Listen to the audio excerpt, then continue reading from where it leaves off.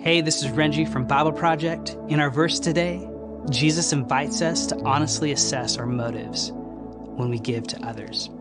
In Matthew 6 3, Jesus says, When you give to the needy, do not let your left hand know what your right hand is doing. Giving to others has always been a central expression of our devotion to God. It's about helping others, doing what's best for them. And it's one of the clearest ways where loving God is tied to loving our neighbor. God wants us to see the world as He sees it, and He acts generously towards humanity.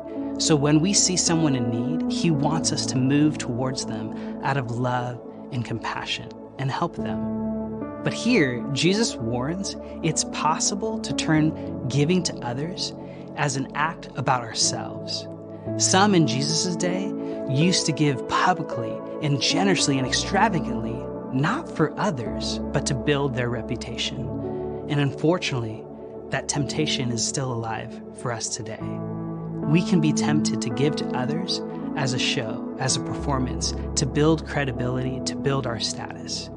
Jesus is inviting us to throw that performance game away, and he does so in a comically impossible saying. He says, Do not let your left hand know what your right hand is doing. We can't do that. So, what is he inviting us to? He's saying, Stop playing the status game.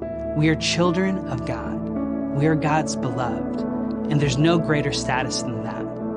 And he's inviting us into true life because chasing after reputation is the way of death, but loving our neighbor is the way of life. And when we give to others out of love, we gain something so much greater than credibility. What we gain is human connection and the taste of the kingdom of God.